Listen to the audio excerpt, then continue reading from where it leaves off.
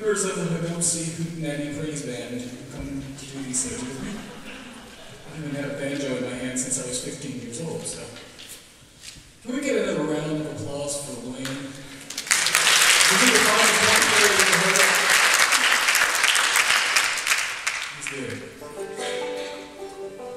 I was sitting around last winter, uh, couldn't go anywhere, you know, going to work wearing this mask and uh, doing chemotherapy, which is not that terrible, but you can't go anywhere.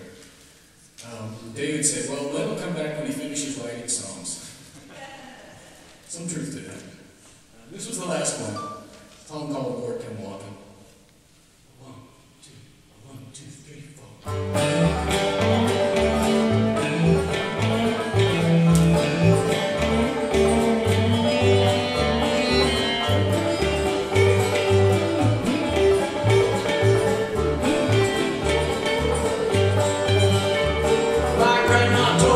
stories